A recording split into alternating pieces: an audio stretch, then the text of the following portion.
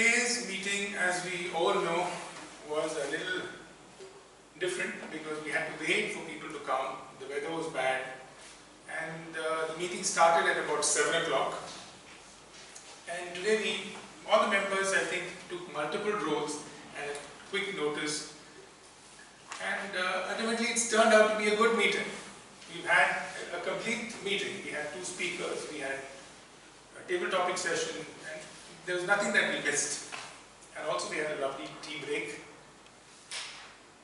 So, uh, actually, uh, come to think of it, we didn't have, most of the role takers didn't turn up today. So people, uh, true to their Toastmaster skills, they were able to do their roles so very well. And start off with was Toastmaster VSP Prasad.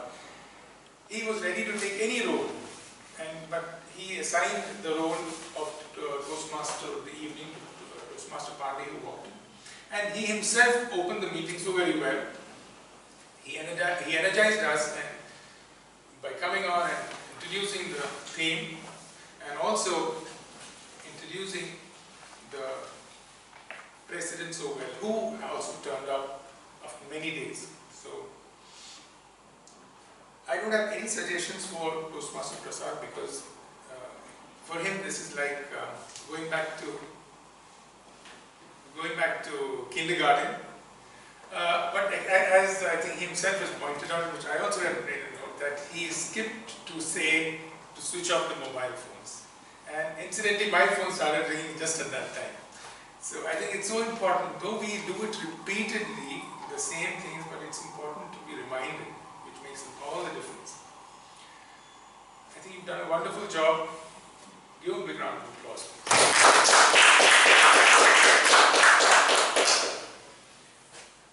Then Toastmaster Mirza, who was the acting president or president in charge today, came and began his presidential address in his uh, inimitable style. Very, uh, his, he, has a, he has a way of speaking which uh, befriends him to all of us. He is always smiling and full of energy. He comes here and then the way he, the way he gesticulates, the way he moves around, there's something, uh, there's an air of importance about him. I mean, people are forced to pay attention to him.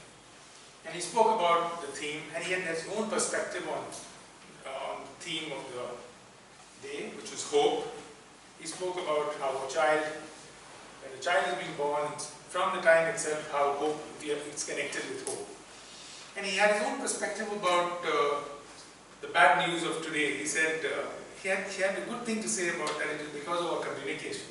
Things are not just getting worse, it, perhaps it was even worse in the early days, but today is just that we have, communication is such that we get to know all the bad news, and for vested interests, and people sell the bad news rather than the good news. You've done a good job, but your, your presidential address was crisp, it wasn't, it was, it did not drag, and were well within the time. I have no suggestions for you. You've done a good job. Keep coming, keep taking the different roles, and uh, uh, give us the honor of your presence and your presentation. Give a big round of applause. Of course, you introduced the TMOD also very well, and I'll come to the TMOD a little later. Now let's go to the assignees. Can I ask Toastmaster, I mean, speech after Paris, please uh,